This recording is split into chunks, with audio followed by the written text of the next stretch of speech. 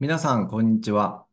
2024年度第2学期に広島学習センター福山サテライトで健康づくりにおける運動の役割を担当します。井村と申します。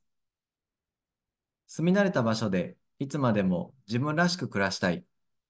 これは年齢を重ねるにつれて多くの人が抱く希望ではないでしょうか。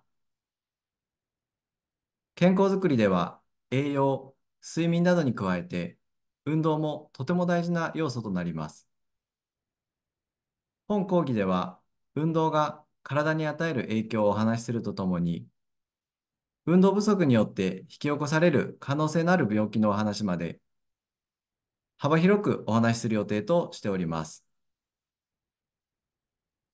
運動だけで解決できないことも多くある一方で、運動によって解決できることがあるのも事実です。